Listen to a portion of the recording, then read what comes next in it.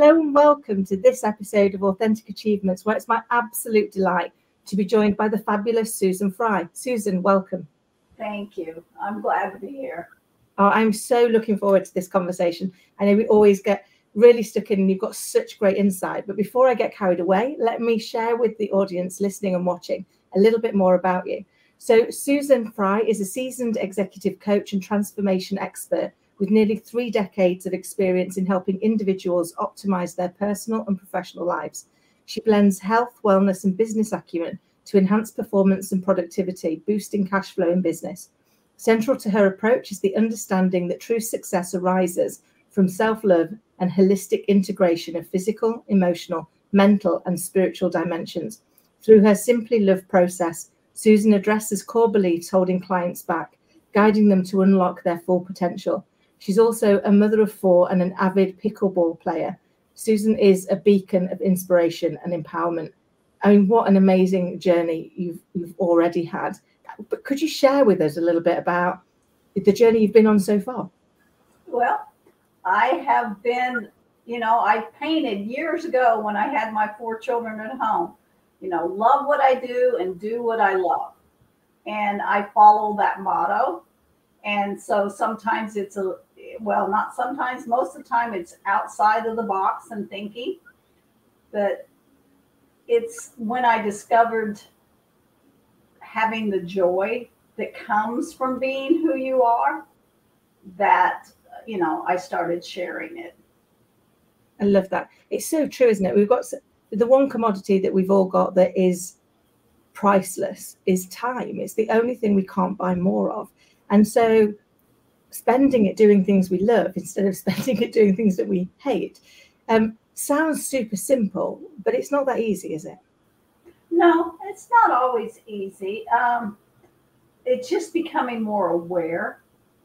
And I think as you become more aware and present, you can do it. Um, I, I, think it is very easy. It's, I mean, it's very simple, but it's not always easy. And mm-hmm. I, it's ourselves that get get in the way. So, and it's a part of my whole simply love process is that when you truly, genuinely reach down and love yourself, you're going to do those things that are good for you. But the problem is, a lot of it's the subconscious. People don't think about loving themselves because their subconscious mind is canceling it. Yeah. That makes any sense at all. It does. It, it makes it makes total sense because I think you know reading somewhere that we you know we create our sort of blueprint when we're seven and we um, we enforce it at 14 and we embed it at 21. And unless we go back and look at whether or not it still serves us, we're basically running on outdated software that is very often getting in our own way. And uh, you know, I certainly had to go on a journey to update my software in the last 10 years when I realized actually I was I was the problem. I was the thing holding me back because I was busy giving, giving, giving to everybody else, but I wasn't ever doing any self-care or any self-love. And um, and that felt selfish um, to do. So every time I tried to do something for myself, like, no, no, being selfish, go and do something for somebody else instead. Um, and it, it was a big journey of discovery to go and find out how to actually like myself because you know I've not worked out yet how to get away from me. You know, wherever I go, I go. So that that you know that needed to become a friendship and not a frenemy. Um, so how do you help people get started on that journey? Well, first of all, you got to find out what you want, you know, and and you ask people what they want, what they truly want, and that will. And a lot of times, people are going after things that they don't want. Yeah. And, you know, a good point is, and then look at what's holding you back from having it, because a truly empowered woman really does love herself and herself what she desires. And, uh, but so the way I do it with my process, though, is I help people to become more aware and I an assessment that helps me to see what's holding them back subconsciously. What I've found is that most people, you know, we all want to be loved, we all want to be successful, free, we all want to be happy. And, you know, my whole I was that, trying to prove myself. And I work with a lot of women now that they'll climb that ladder of success and find out they're on the wrong wall, they're not fulfilled. And it's my process is really a very simple, powerful process that just leads to greater awareness and real self love. And unless you can really genuinely love yourself, when you do, you unleash a power within yourself. And but the way I do it is I first identify their self-defeating loops, habit patterns, behaviors that are keeping them from loving themselves. Because like most people nowadays, when you say self-love, they think of taking care of themselves. Yeah, yeah. And it's not just about that. You are loved, you are loved, and you are part of this universe that's held together with love.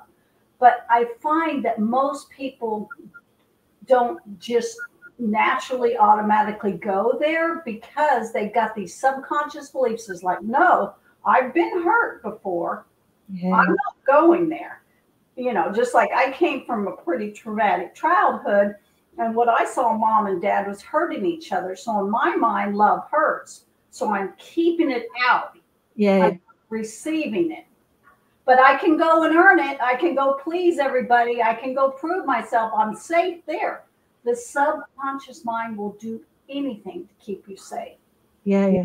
So my process is it's really simple. It's just you got to first identify that, then you reprogram the brain. You learn to genuinely love yourself. I have several things that we can do, but does that kind of give you a general idea? I can, because I think one of the things that I've found over the years with people is we're not very good at knowing what we want. We know what we don't want.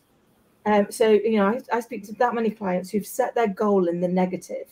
You know, I, I don't want to have a lack of sales. I don't want to um, be going great. I don't want to be doing this. And you're like, what do you want? Because the subconscious brain has no sense of humor, does it? What if you tell it, it's going to take you there like a sat nav. So if we're focused on what we don't want, we're going to get more of it, aren't we? Right, exactly. Same when you're talking to people. Do you find one of the big problems is understanding first what it is they really do want rather than what it is they really don't want? Well, a lot of people think, are the hard ones are a lot of people that think they know what they want because they're defining themselves by this image outside this themselves. Yeah, yeah. Who you are truly, if you connect to who you are, you know what you want. Yeah. But too many people are defining themselves by their choices, their mistakes. They're trying to be somebody that they're not, or they're trying to be somebody that they think they should be. Or, and so if you're trying to be out here, most people don't know what they want because they're not connected yeah. internally. And when I say I look at a person on all four levels physically, emotionally, mentally, and spiritually, because if you're not, if you don't know who you are, so a lot of times I have to get, I back up way back and I say, okay, first of all, you have to choose. Yeah. You have the power of choice. A lot of people don't know that they can choose to know who they are and they've got to choose it. They've got to look at who am I. They got to know.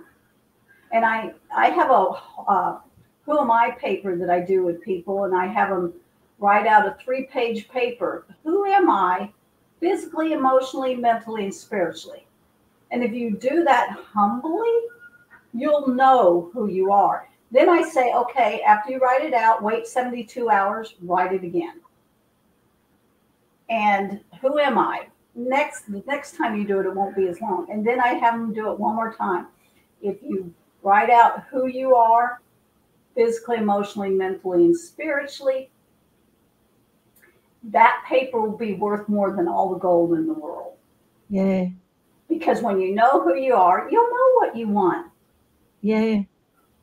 And and and and when you when you know who you are and what you want, you do want to choose to love yourself. but that loving self is not just self-care it's a recognition of who you are. Yeah. We're all love. I love that because it's, it's true. I mean for, for me personally when i went on my journey you know i didn't like myself and now i do. Now i relish spending time with myself because actually i like me. I like who i am and who i stand for. Uh, and that was a big shift for me. Uh, like I, I had to, I had to go inward first and I had to go and face all those dark bits that I didn't want to. And and for me, one of the big one of the hardest things to admit was all of these things that I'd used as excuses to not move me forward. Well, they might think this, they might think that, and they might think the other. Um, was actually me. Those people didn't think that at all. Uh, I'd never even asked them. I'd never given them the the, the actual uh, respect to ask them what they thought. I instead created what they thought and then used it as a reason to not move forward. Um, and so for me, you know, it was it was a it was quite a tough process to go through, but a joyous one when you get to the other side of it and when I can genuinely say now I like myself and I can appreciate myself and and the shift for me personally when when I um, first started, I was asked to say three things that I appreciated about myself, and it was the most excruciating half an hour of my life. I couldn't come up with everything I tried, I've got great friends, that's not about you. I've got amazing family, yeah, that's not about you. And I literally i'm rocking, going, can't think of anything. And I eventually came up after half an hour, I came up with I've got quite nice eyes. I mean, I'm embarrassed to say that that's how bad I was. Well, um, you know, a lot of people are that way. I yeah. Yeah, it, I, was, I mean, I hated myself until my 30s. Didn't yeah. even know it.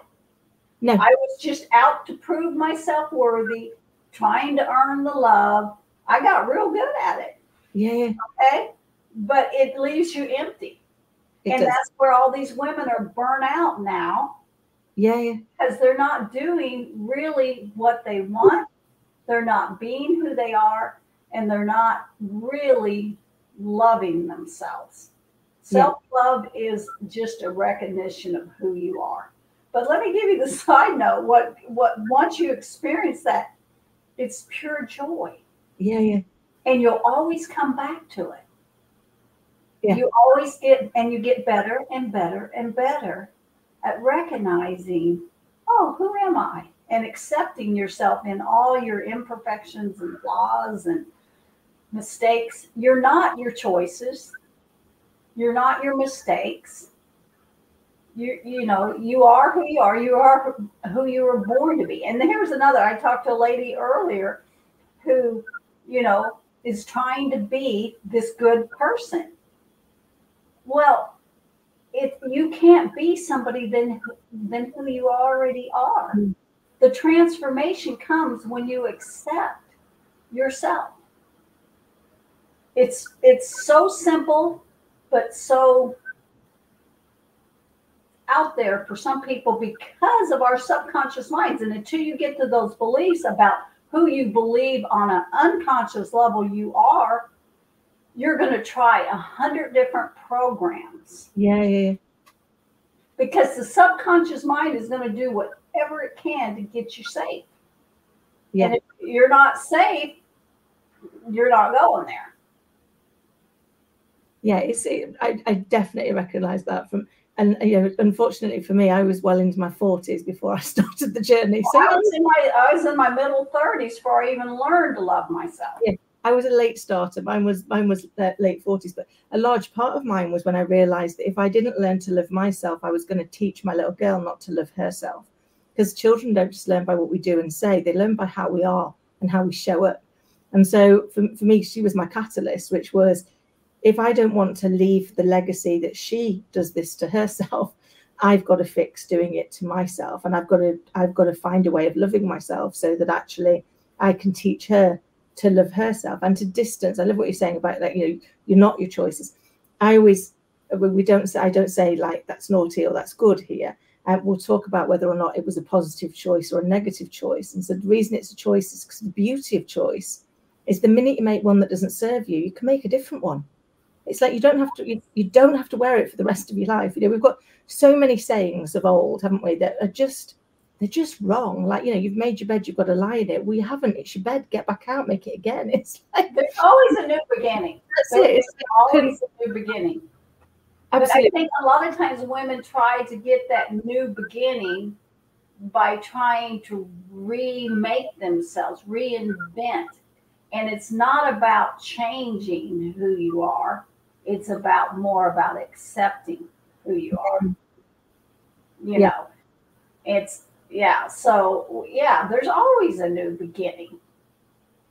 There is, and and we always get, you know, I've I've learned in life that everything in it is either a lesson, a blessing, or both. So when I'm not feeling blessed, um, I look for the lesson, and the blessing's right there because it's teaching you something like that is going to help you be who you're here to be. Because I believe you, we're all we've all got a purpose, um, and Right. once we, once we acknowledge who we are and we and we accept who we are, our purpose becomes really clear, and then our ability to meet that purpose becomes so much easier because we've now got the you know that subconscious mind working for us instead of working it thinks for us but actually it's often against us isn't it Right. And well, yeah, and the, like I said, the subconscious is just canceling out everything that's not going to be safe. Well, if you grew up in a place where you didn't feel safe, then you're going to have some hardwiring that needs, you need to create a new operating system. Yeah. Which is the internal. It's not external. And so many people try to look out themselves, outside themselves to change themselves. No, it's inward because it all starts with you. All answers are in you. yeah I, I i absolutely get that so what would you say has been your proudest moment so far Well, of course, it's being a mother, you know, mother of four children. But in my work, it's so fulfilling because I can help people. I've helped a lot of people, well, start businesses, be successful in their businesses. I've helped people get pregnant that didn't have the, you know, couldn't get pregnant, change the mindset. I've helped people, I've helped women lose weight. And that's a big deal to a woman. It's, I just help people get what they truly want. yeah. It's possible. Anything is possible. So oh, I have like these 90 day breakthrough challenges where there's small groups of women. So what I do is I give them an assessment. They put on there what they want, their goal. And then in the 90 days, we have a breakthrough challenge to achieve that goal. And there's very few people that ever don't get what the challenge is yeah it- they break through, they get their challenge. And that's fulfilling. There's nothing more fulfilling than that. But other than having children, there's no greater joy than being a mother, right? Oh no, there isn't. It's uh, a, and- and for me, they're an your, your children are an everyday reminder of the fact that anything is possible. You know, they they look at the world with such wonder and curiosity, until we teach them to stop being curious, because curiosity killed the cat, and we put them in a little box. we tell them that these are the rules and this is where you play, and then we try and turn them all into little clones of each other because they all have to learn how to do exactly the same things. And you're like, No, no, no, no. no, they, they, you see their little personalities coming out in, in when they're so tiny, um, and, and you kind of just look at that and go, "That's the bit you've got to keep hold of, isn't it? That, that you should be whoever you're here to be." Well, Um, you know, when my children were born, I had home births. I had four home births. And when they came out and I looked at them, their personality, when they came out, is the same personality they have today. Yeah, yeah. You can't change it. Well, no, it's, it's weird. I mean, I remember with with um, Scarlett when I when I was pregnant, we used to we used to play this little game uh, because I read somewhere that if you te- if you start communicating them with them when they're in the room, it helps them to be better communicators. So we'd have this little game where I'd, I'd say something and I'd poke a part of, of my stomach, and then I wouldn't say anything else until she kicked or punched where I'd been, and then we'd go and do it somewhere else. We did it every day, which was fine until one day they were trying to actually get a heartbeat, and I was like, "Oh, sorry, she thinks she's playing a game." Every time they were going, she was moving somewhere else because she thought that was the game we were playing. Oh my goodness. Um, but and we, when we, but you kind of get it and go, you know, that that mischievous, cheeky little personality was there even then, um, because it comes. It, I think our journey is always back to ourselves, isn't it? Uh, journey back to ourselves faster than others. Um, but once we do journey back to ourselves and we become who we are supposed to be without all of the um, labels and the shackles and the, the external challenges, that's when we really do build that life we dream of. And everyone's life dream is different to everybody else's, isn't it? It's like kind of oh, so different. Yeah. We always want to look over our shoulder what you know what our neighbour's writing in case we get it wrong because it's like, well, that's their dream. It's not, no. not, might not be mine. I, it doesn't have to be the same. I think learning to break away from saying, actually, I might want something different, and that's okay because we are all unique, aren't we? Yeah, extremely. All four of my children are completely different. Completely. Yeah. And you can't change it. You can't make them anyway. Well, no, because they're they're here to be who they're here to be, aren't they? So, what would you say has been your greatest lesson so far? Um, my greatest lesson uh, that you can't control love. You know, I tried forever to, to control love. And I remember one time with my mentor when I went through my divorce and I had all these emotions and I'd go to him and I'd say, well, he did this, he did that. And he, um, he'd say, well, so and so will be who he is. Just let it go off your back. You don't have to go into emotion over it, right? And then I thought, oh, I said, Larry, I got a great idea. Just take away the love, and then I won't go into the emotion anymore. And he looked at me and he's like, Susan, you cannot control love. And I've since learned that you cannot control a good man either. So a lot of times women get in there and they try to control a man, and a good man will not have anything to do with it, or vice versa. But um, you know, you can't earn love. You can't be perfect to be loved. You can't try to prove yourself worthy I would try to prove myself worthy of God's love. I'm going to do this, this, and this. I'm going to be perfect. And then I'll get, but really what I was seeking was validation. Yeah. yeah. So I, I was thinking that love, I mean, that love really was validation. So I would do all of these things. There's plenty of counterfeits to love, but love you can't control. Is you cannot control pure true unconditional love. And that's when you have to learn to submit and surrender. So, yeah, it's you can't control it. You have to submit. And when you've been hurt in the past, you do not want to submit. Yeah. And, eh, you know, and a lot of it's unconscious. We don't, I don't go around thinking, oh, I'm going to control love, but I was busy trying to earn it I was yeah. trying to look good. I was trying to be perfect. I was trying to get all these achievements. I would play sports as a little girl.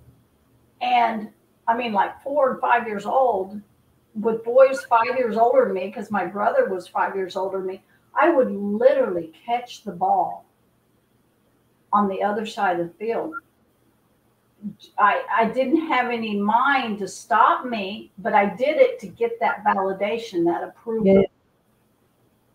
And I was super good in sports, super good, because I learned, you know, run, Susie, boom, you get you get that love. It's so, funny how we create these, um, and then we become self fulfilling prophecies, don't we? What we tell ourselves is going to be what happens to us because we you know, our, our subconscious brain tries to help us to achieve what we're telling it. It's just often we're not telling it what we want. We're telling it the exact opposite of that. And I, I get that whole, you know, that, was when you get external validation, it doesn't matter how much external validation you get, it won't mean anything until you can internally validate yourself, has been one of the things I learned.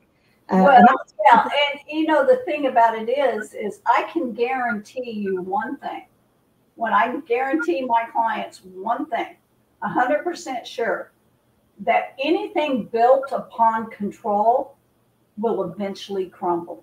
Yeah. So these people go in and these women, businesses, or marriages, 20 years after marriage, and they're like, I don't know what happened. It was built upon control, validation, codependent, whatever. But anything built on control will eventually crumble. Yeah. I can guarantee you that. So I've learned my lesson on the control and and learning to just let go to the love. The hardest thing, and I was having this conversation earlier with somebody, is to learn to just receive love. I'll get really big, and I still run into these behaviors. Now I've cleared the core issues out, but I have to watch every once in a while, and I'll get busy sometimes because I can get stuff done. I'm quick. I played shortstop. I, I mean, I could. My sister trained me as a little girl. Okay, she'd tell me ten things to do and see how fast I could do them. She was smart. She's trying to get me to clean up for her, you know. But sometimes I can get going and I can be really quick and get a lot done, and then I feel good about myself. I used to.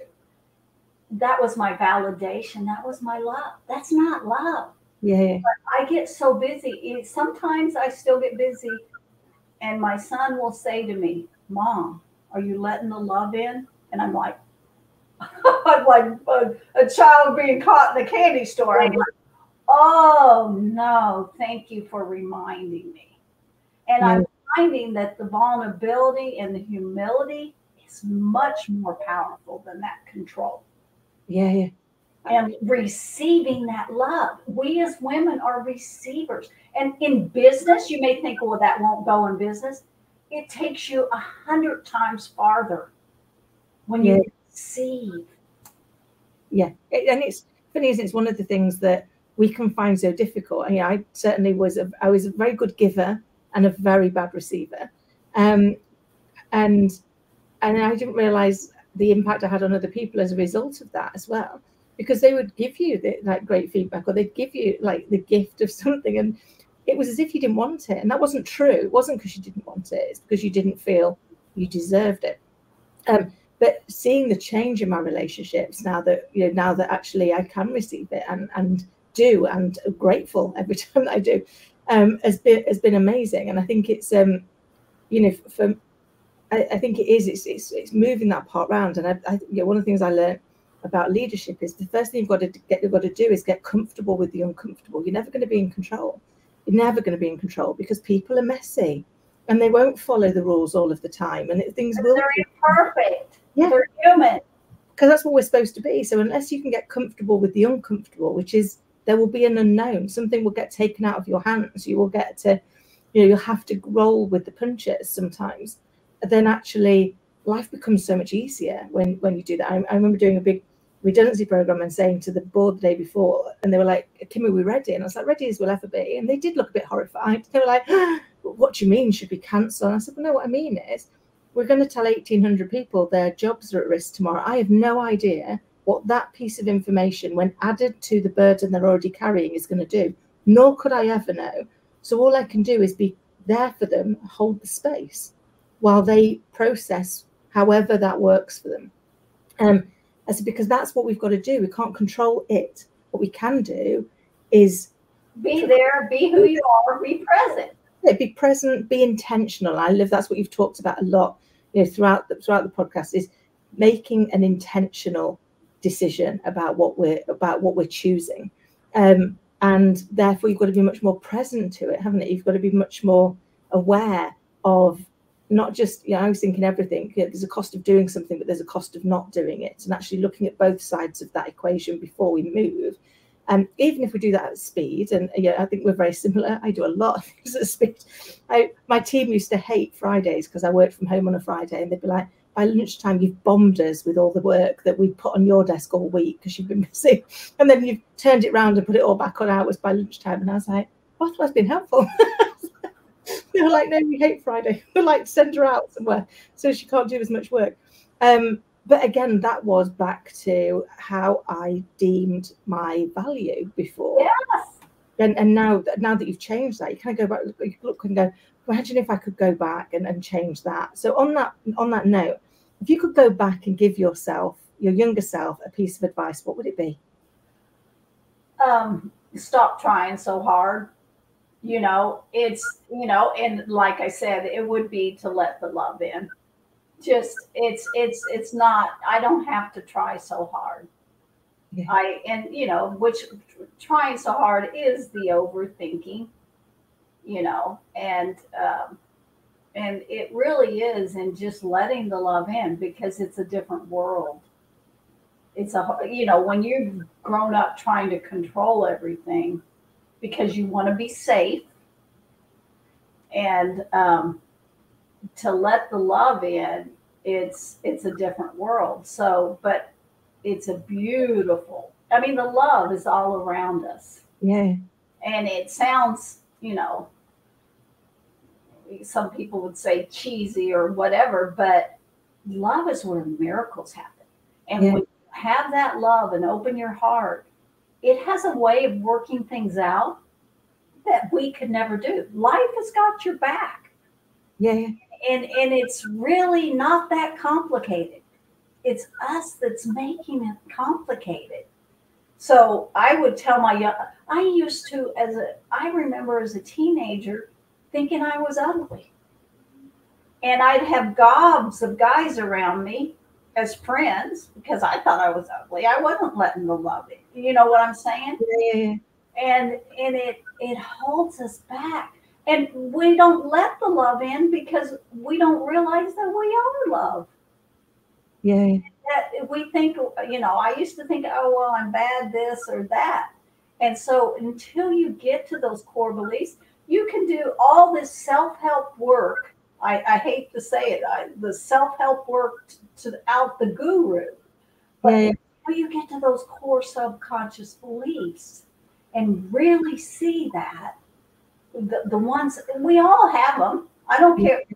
I've talked. Um, there's people that come from very good homes, and still there's subtle underlying generational things that come through and they have a hard time seeing oh i had a good childhood well we still have these beliefs and a lot beliefs about ourselves and a lot of people do not see that these underlying beliefs and they do all of this stuff they work their guts out and all to find out you know, they climb that ladder of success and they're on the wrong wall and yeah. not fulfilled. I work with a lot of people that aren't fulfilled. They they're I've worked with people that are incredibly talented and they can do just about anything. But that deep down inside, you know, they're missing. And um, so I would tell my just let the love in. Yeah. But I would tell my younger self, you are loved. I'm part of this love that's the unit that holds the universe together. And and lately I have been coming out more. And now you may say, how does that work in business? Well, in business, when you can get a person aligned with who they are, they know who they are, they will know what they want, they're humble. When you truly love yourself, you're humble. Yeah.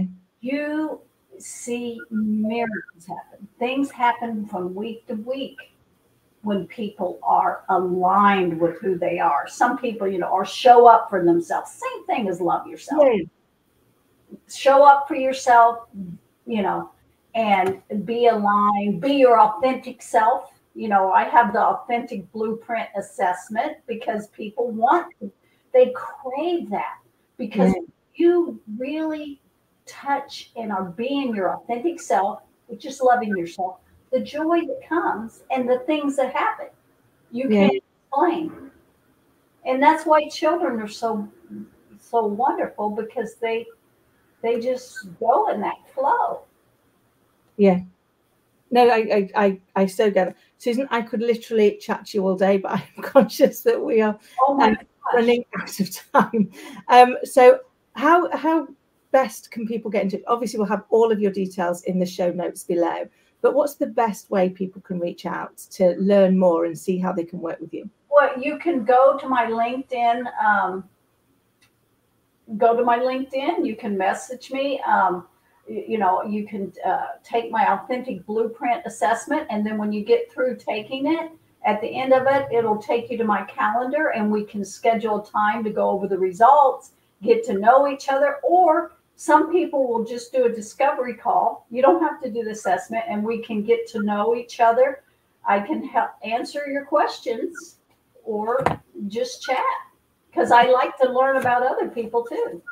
Oh, Susan, I love that. We will have all of those details just in the notes below so that people can reach out and connect with you. But my gratitude for coming and spending this time with us and sharing your love and your insight. So thank you.